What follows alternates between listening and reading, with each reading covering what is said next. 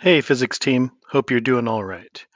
I would like to talk with uh, with you today about a couple issues that came up on the first day of school that we really never resolved, um, and and I want us to do that right now.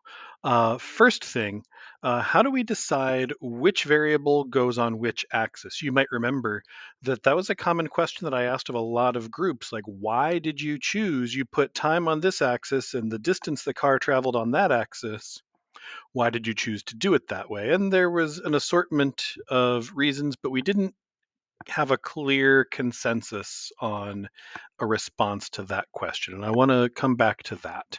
And the second thing that I'll address in another video is should I make a best fit line or should I draw from dot to dot to dot? Maybe you recall that on that first day of school, some groups drew a line where they knew intentionally they were missing some of the data points. And other groups drew from one dot to the next to the next to the next. And we're going to address that second point in another video. But for today, I want to focus just on this first question. How do we decide which variable goes on which axis? So there is a way that we make this choice. Um, when scientists make graphs, the common choice is to put the independent variable on the horizontal axis and the dependent variable on the vertical axis. Now, you're used to calling those axes x for horizontal, y for vertical, and I get that, I understand that, and I'm not upset about that, but something that you'll notice is that I tend to not call them x and y axes. I really strongly prefer um, to to refer to them as dependent or independent, um, or to give a specific name based on what I'm putting on that graph, like the time axis, the distance axis, etc. Um, and, and we'll see a little more clearly in the future why x and y really don't do it for me. Um, but that's for another time. So there's a clear follow-up question to me though that we need to address is okay so if there is a plan when we're sciencing that the independent variable goes on the horizontal axis and the dependent variable goes on the vertical axis how do i know which is which?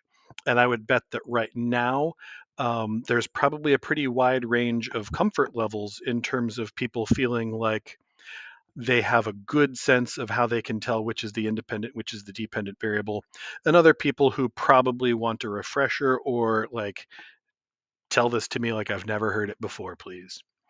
Um, so one way that I'm thinking about this is I'm going to have to measure two variables if I want to find a relationship. Like say everybody on that first day of school was measuring distances and measuring times um, and some groups made some different choices in one class or another, um, but the majority of groups ended up either making a graph where they're like, I'm going to see every certain distance that this thing travels, how much time does it take, or every certain amount of time, what distance does this thing go? And so everybody was measuring distances and times. And one of those was your independent variable, and one of those was your dependent variable for most of the experiments that you did that day. So you measured both of them, but you made choices about one of them. And that other variable, you decided what that first variable would be. And the second set of measurements depended on the choice that you made. So your independent variable is the one that you decided how much it was going to be, and the dependent variable is the variable that depends on the choice that you made about how much.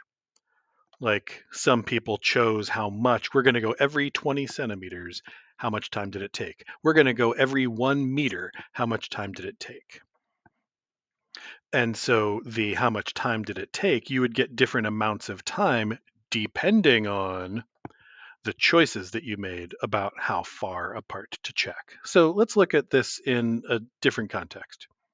Um, student sets up the following experiment to find a link between time elapsed and temperature for a beaker of water being heated by a Bunsen burner. Because if there's anything we get to do in chemistry class, it's we get to heat water. Um, so she starts her stopwatch when she places the beaker over the burner. Um, so the stopwatch starts at zero seconds, and the temperature in the room just happened to be 25 degrees.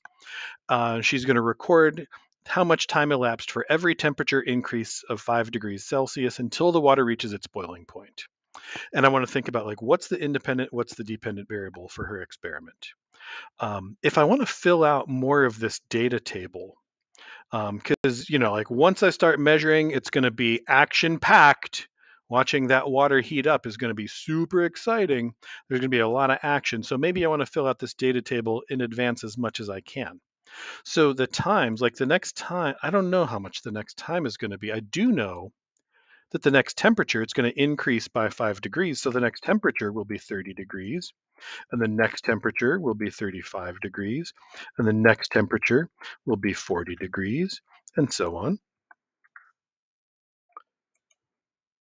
all the way up since 200 not 212 degrees what am i thinking that's fahrenheit no but up to 100 degrees celsius and i'm not going to go all that way but we know what the temperatures are going to be before this person ever runs the experiment now what will the times be i don't know yet i can tell which one's going to be my independent variable because the independent variable, I decided what those numbers were going to be. Or this student in the experiment decided I'm going to go every five degrees Celsius. But some other student might have thought, like, well, I'm going to go every two degrees. So I'm going to go 27 degrees, 20, 29 degrees, 31 degrees, and so on. And so that student is going to get a different set of times than the first student did. And so the measurements that we get for the time are dependent on the choices that we make for our independent variable. In this situation, the independent variable is the temperature, the dependent variable is the time, and I can always tell which one's my independent variable because that's the one where I could fill out that whole set of numbers on the data table. I could fill out that whole column before I ever start the experiment. So if I wanted to reverse that, like if I wanted to recreate this experiment, somebody else maybe wants to do this experiment where they are going to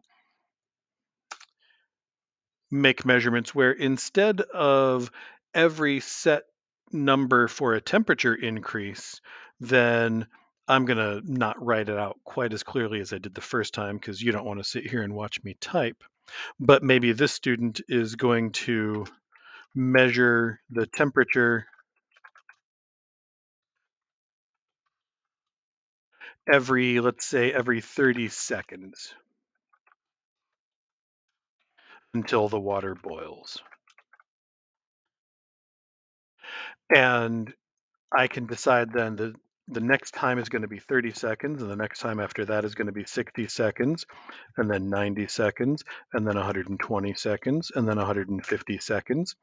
And I don't know before I do the experiment what temperature that water is going to be at 30 seconds, what temperature the water is going to be at 60 seconds, what temperature the water is going to be at 90 seconds. But the half of the data table that I can fill in right away, I know that that's my independent variable. So I've switched. So now my independent variable is the time and the dependent variable is the temperature.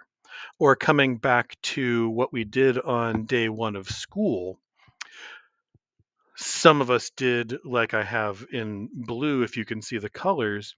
Uh, group A says, we let the car run, and every 20 centimeters of distance that it traveled, we checked how much time the stopwatch read. And then maybe group B sets up an experiment like, we're going to let the car run, and every second that goes by on our stopwatch, we're going to mark how far the car traveled. Now, both groups have variables of time and distance, but which one is their independent variable, which one is their dependent variable, and how are we going to represent that on a graph are a little bit different. So we're we're looking at differences in how these groups are structuring their thinking about how to measure. And for reasons that are going to come up very soon, then we're going to see why it matters to scientists to put the independent variable on the horizontal axis and the dependent variable on the vertical axis. It has everything to do with the way that we write slopes, the way that we express slopes, and trying to build meaning out of slopes. So generally, if we want to build good quality meaning out of this work, then we're going to want to follow that, usually follow that tradition of independent variable goes on the horizontal axis, what you're used to calling the x-axis. Dependent variable goes on the vertical axis, or what you probably call the y-axis. So with that first group, we let it go and every 20 centimeters, ooh, that should say centimeters, not meters. That's going to bother me if I don't change it.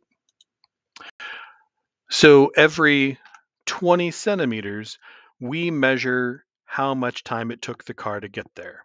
So the distance in that case would be our independent variable since those are the numbers we chose, and the times are going to depend on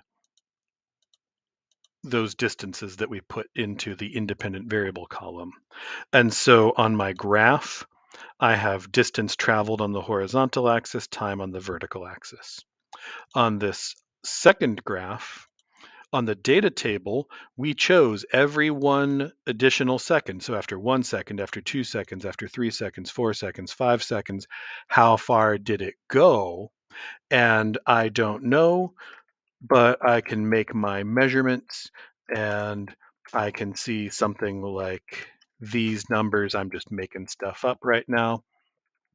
And then I can plot those points. But in this situation, then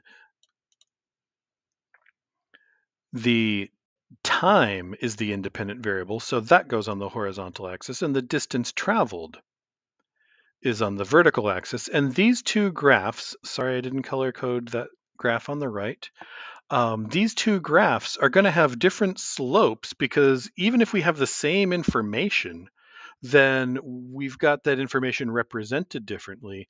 And when we look at what is the slope telling me, then we see that information showing up differently on our slope. And that's going to have a lot of meaning for me, but that's for another video.